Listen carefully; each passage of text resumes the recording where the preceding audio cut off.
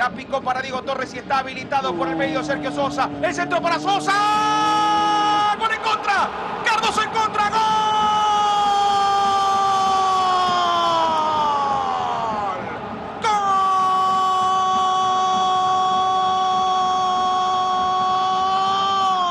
¡Gol! De estudiante de Buenos Aires. Facundo Cardoso la terminó empujando a los 37